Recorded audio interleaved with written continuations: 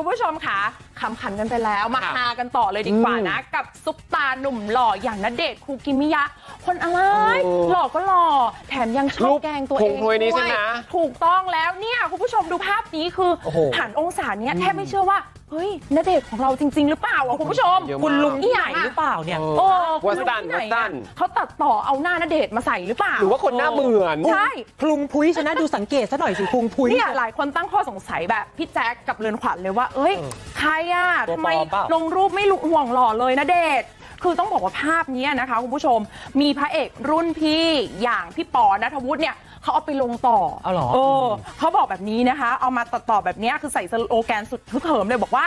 ชาติเสือต้องไว้ลาย ชาติชายต้องไว้พุ่งเออพี่ปอเขาโพสต์เอาไว้นะคะ คุณผู้ชมค่ะคือเอาจริง ๆ นะ ขนาดนเดชน์นะยังมีเออพุงในขนาดเนี้ยพวกเราอะชิวๆไปเลยใช่ คือถ้าจะมีบ้างก็ไม่เป็นไรอย่าไปซีเรียสมากคือคนคือกินมันก็ต้องมีพุงบ้าง nobody perfect มีความสุขเออก็กินไป เดี๋ยวค่อยเอาออก เดี๋ยวค่อยออกกำลังกายถูแบกบต้องเออพี่ปอเขาบอกว่าขอบคุณณเดชน์มากครับ ๆ ตอนนี้พี่มีที่เดินแล้ว เอาเอ้ยเราก็ใกล้ๆณเดชน์แล้ววะ นี่แต่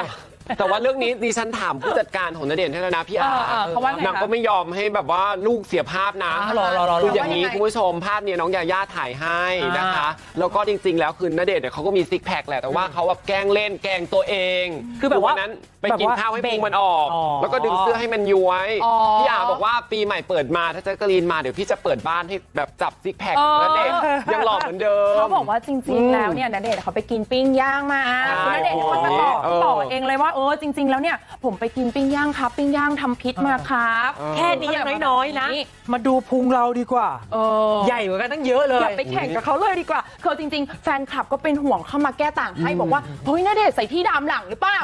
ดามหลังยังไงให้พุงออกมาแบบนี้คือเราเราต้องดามยังไงเหรอเออบางทีรักรักได้แต่ว่าต้องมีสติกันนิดนึง